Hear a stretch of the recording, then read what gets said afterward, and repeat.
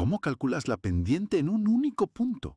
Siempre pensé que necesitabas dos puntos para una pendiente. Buena pregunta. Ahí está el ingenio del cálculo. Tienes razón, con un solo punto no puedes.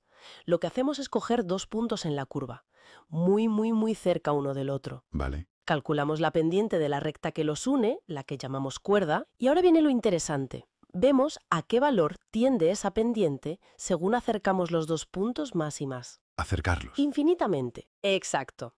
Hasta que la distancia entre ellos es, bueno, infinitesimal, prácticamente cero, pero sin llegar a ser cero. El valor al que se acerca esa pendiente. Esa es la derivada, la pendiente instantánea. Es el famoso concepto del límite. Ah, vale, vale. Es como una aproximación súper precisa. Te acercas todo lo posible para ver la tendencia justo ahí. Y la notación, eh, lo de delta mayúscula y luego la D, tiene que ver con eso. Justo. Empezamos con delta mayúscula, delta X y delta Y. Indica un cambio pequeño, pero finito, una diferencia medible. Entiendo.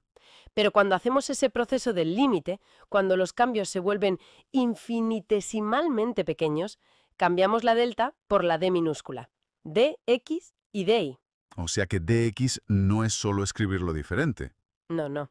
Significa que ya hemos aplicado el límite, que tenemos la tasa de cambio exacta en ese instante. Vale. Pillado. Pero claro, calcular límites para cada función debe ser un rollo, ¿no? Supongo que ahí es donde entran las...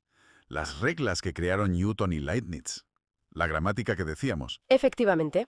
Para no tener que estar siempre con los límites, desarrollaron unas reglas.